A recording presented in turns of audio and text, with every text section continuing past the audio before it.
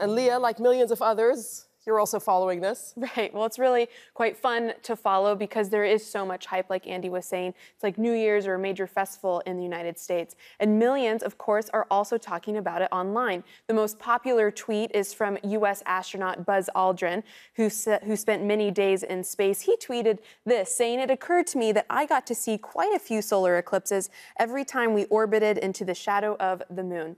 Now, others are making fun of the eclipse chasers, as some people are calling them, and their sunglasses here, making fun of it with a pack of gum called Eclipse Gum.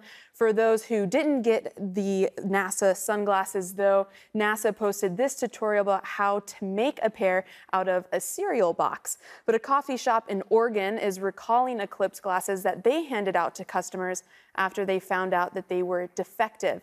If you have a pair, be sure they don't have any scratches on them or you could actually hurt your eyes. Now, millions of others are driving hours into the zone of totality or total darkness, this line that you see going across the United States here. We caught up with one couple driving 10 hours all the way from Florida to South Carolina. Full disclosure, these are my parents. And we have a box to view the eclipse through and millions of other people apparently are doing the same thing, but we're taking the trip up there to see this once of a lifetime experience.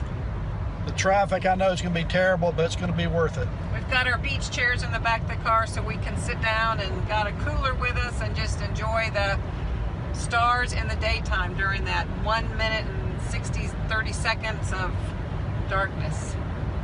We'll let you know what it's like. Happy eclipsing. I posted more videos about the rest of their journey on my Twitter page if you want to have a look. Now, because so many people, like my parents, are expected to take pictures of the eclipse, the University of California, Berkeley, and Google teamed up to help scientists study the phenomenon.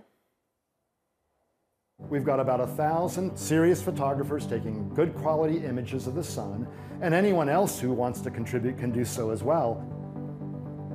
By having many images of the corona over the course of an hour and a half, we'll be able to examine the changing structure of the corona.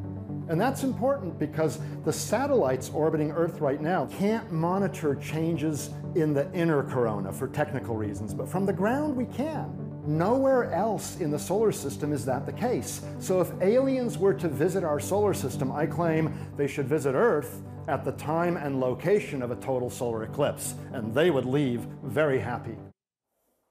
NASA even released a tutorial on how to protect your phone lens since it is expected to be one of the most photographed events ever in history and because it could damage your camera. But their last tip on their website is to just put your phone down and to see it with your own eyes. Now, if you're on the journey to see the eclipse like my parents or the millions of others, be sure to send us a video. We'd love to hear from you. You can tweet me directly at Leah Harding AJE or you could use the hashtag AJ Newsgrid.